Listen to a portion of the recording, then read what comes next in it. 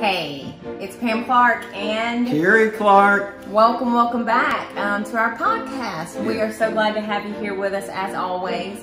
Um, today, y'all, is a continuation of our last podcast, Life Growth Area number three, where we're diving into spiritual out, spiritual out.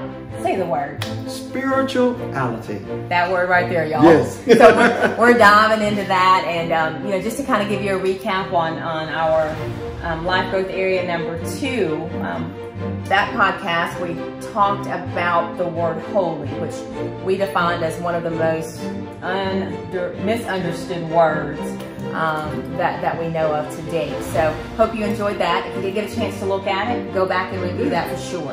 Um, but today we're going to spend time talking about all them church rules. Yeah. Right? So, um, if you've been in church as long as we have, and I won't tell you how long that's been, A long time, but if decades, you've been in church, way. Mhm. yes, yes, yes. If you've been in church as long as we have, um, you've seen your share of rules that are often um, that are often, uh, I guess, applied based on the church that you're attending, right? Yes. Um, some of which, most of which, I would actually go on record to say, don't even apply or align, I should say, with what God's word says, right? True. That is true. Um, so if y'all know Kerry A. Clark, and most of you do, he is really about to rock your world on that and give you just some other things to, to think about when it comes to those church rules. Yes.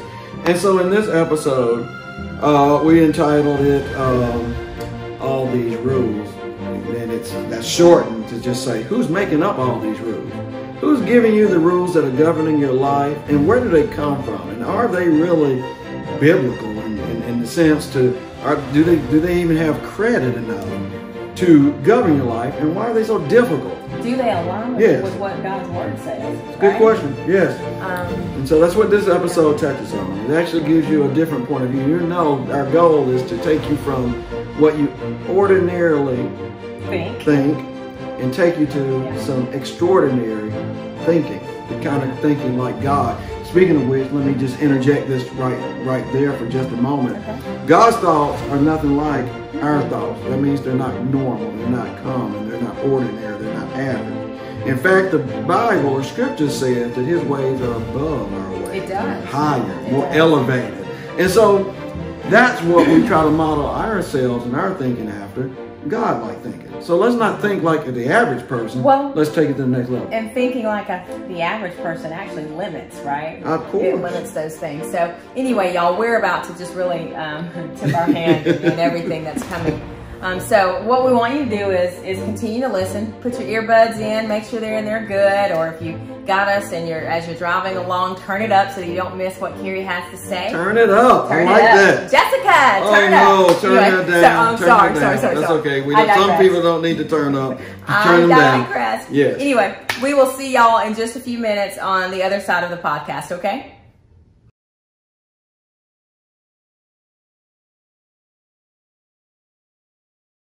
All right, I have about five more minutes before we have to end this session. And so I want to quickly go over one principle that'll uh, be real quick and quick and short, I hope.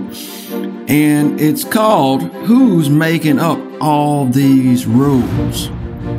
You know, when you think about life, family, work, home, whatever it is, there are some rules that we have to learn early on. And we don't end up knowing them all. And as time progresses, we pick up more rules. When you go to the office, there are rules. But I want to talk about those rules you find in your local church. And I ask a question who makes up these rules? Is it the church making up these rules? Is it your pastor that's making up the rules? Does the deacon make up the rules? Are the rules coming from the Bible? Who has the rule book? I know there are some religions, no, some denominations within the Christian church that they have their own guidebook, meaning they got their own set of rules. The Baptists have a set, the Methodists have a set, the Catholics, of course, have a set, Pentecostals have a set. You name it, there are a set of rules. Muslims have sets of rules. You see, we're talking about life growth area number three, our spirituality. Not being like anyone else is the subtopic there that we want to drive home.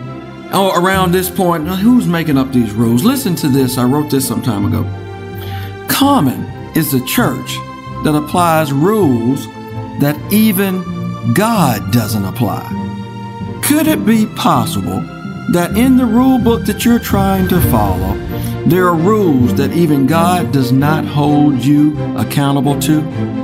When you evaluate what you're doing in life, I would suggest that you take a new approach, a different approach. Let's evaluate the rules. Is this a rule that God is applying to me?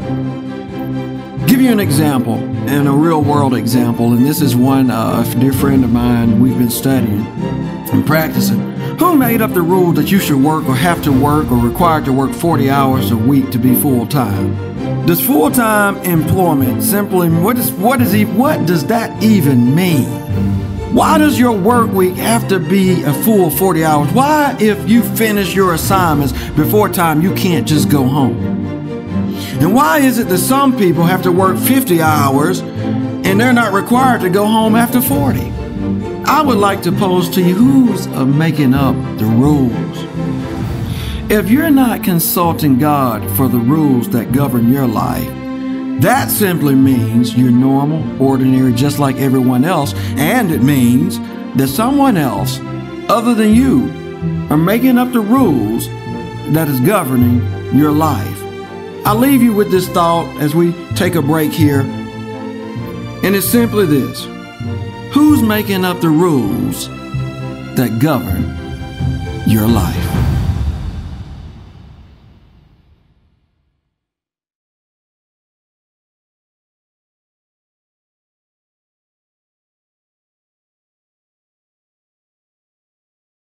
at the content that we have to share, uh, considering, you know, when we wrote it, how are we bringing it back up? And, and it just blows my mind some of the nuggets that's, that comes out of these, these life lessons, these life growth areas. In this case, our spiritual health and life growth area number three. Well, I mean, there's some good stuff to share, you know, and we just hope that, that y'all think the same thing and you're able to apply it. If nothing else, just take a small nugget away, Yes. right, and apply it to something that you do. It's a win-win for us.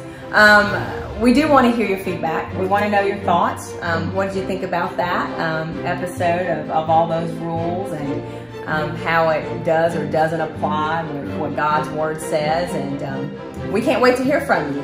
Kerry, I think, probably just shared his closing comments, right? Mm, close. There is something I do want to close with. You know, we have uh, other items that we can offer, more content, Oh, yeah. resources that we can offer on our websites, Yeah. and uh, one of which is our family plan Mhm. that we use to not only uh, guide us through life, but we take these nuggets that we mentioned earlier and figure out how we can insert them into different areas of our life. And that's what that family plan really allows us to do. Plan for how we execute the things that we've learned and take away and how we grow. No need in you guys making the same mistakes we did along the way. So Yeah. if we can help, that's what we're here to do. So check us out. Check out everything on kerryaclark.com. Yes. Um, our products are there, links to our um, social media um, pages, or maybe not links there, but at least the handles to our social media um, platforms. And one of my favorites, y'all, is no longer common. Yes. So definitely check that out. We share some some really good stuff, really good blogs on on that one as well. So anyway, y'all, we look forward to seeing y'all. We are honored that you would spend a little time with us and that you would um, listen to what we have to say. Um, we're even more honored that God chose us to use this platform to communicate with you. So um, reach out to us if we can be of help. Don't hesitate, and we will see you. Life growth area number three. More to come. More to come. All right, we'll see you soon, y'all. Yes. All right. growth area number three, where we're diving into spiritual out, spiritual out. Say the word. Spirituality. That word right there, y'all. Yes. so we're, we're diving in buds in. Make sure they're in there good. Or if you got us and you're as you're driving along, turn it up so you don't miss what Kerry has to say. Turn it up. Turn I like it up. that. Jessica, Oh turn no, turn Anyway, that down. So, I'm turn sorry, that sorry, down. sorry, That's sorry. okay. We don't, some people don't need to turn up. I Turn them down. digress. Yes. Anyway, we will see y'all in just a few minutes on the other side of the podcast, okay? You know I'm gonna you talk know. about Jasmine. It's all good. I love it. I want it to be this way. The little turn up. the little turn up. All right. There you go. All right. Outro. S3, E3, and five. Four. Three. Two.